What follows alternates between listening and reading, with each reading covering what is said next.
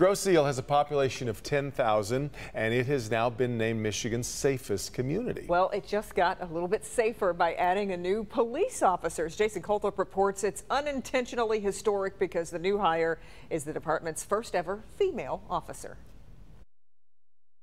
Yes, she is the first female police officer here on Grosse Ile. But as the chief tells me, they've always just hired the best person in front of them. Black, white, male, female, however it's worked out. And as you're about to find out, while that doesn't define the police department, it also certainly doesn't define her. So this is my second career. Officer Sue Dalpiez never dreamed of being a cop. Uh, I think if you would have asked me like 10 years ago, I would have probably said you were crazy.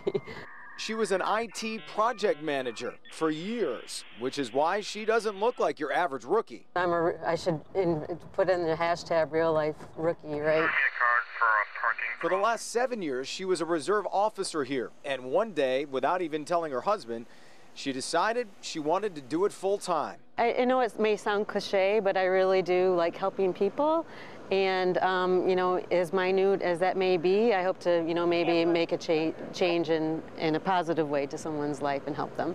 And believe it or not, she has found some similarities between her last career and her new one. There's different personalities, but you, you know, you come together to get the job done.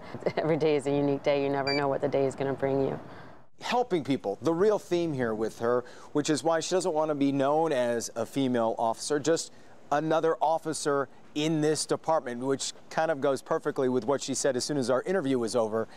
There goes my anonymity. I'm Grosse Ile. Jason Colthorp, Local 4.